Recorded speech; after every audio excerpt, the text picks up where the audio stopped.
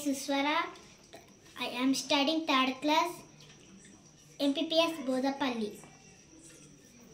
plastic నిషేధం plastic అనేది పర్యావరణ పరిరక్షణకు ప్రమాదకరమైనది.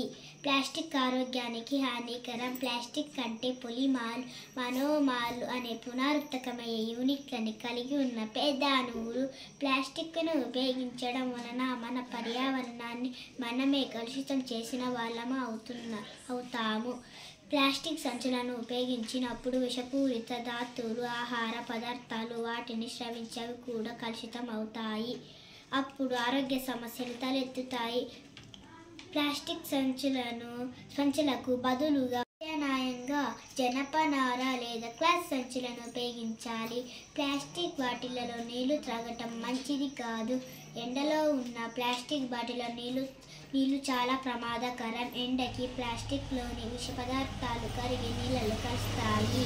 ఈ నీళ్ళు త్రాగటం వలన కొన్ని రకాల క్యాన్సర్ వచ్చే అవకాశం ఉంది. ప్లాస్టిక్కు బదులు రాగి స్టీల్ గ్లాస్ మరియు బాటిల్స్ వాడకం మంచిది. ప్లాస్టిక్ను నిషేధించడం చాలా మంచిది. ఇందుకు ప్రతి ఒక్కరూ బాధ్యత తీసుకొని ప్లాస్టిక్ వాడకాన్ని తగ్గించడం ద్వారా పర్యావరణ పరిరక్షణ కాపాడిన వా- వారం అవుతాము.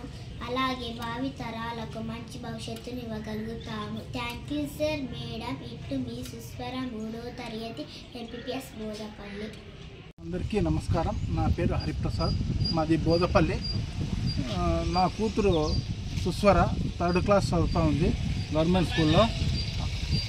టీచర్స్ సహకారంతో ఆడిట్ వారు ఆడిట్ వారు ఆర్ట్ ఫెస్టివల్ పెట్టడంలో దాంట్లో పాల్గొని జిల్లా స్థాయికి వెళ్ళి బహుమతి సాధించింది. ఇది మాకు చాలా సంతోషం.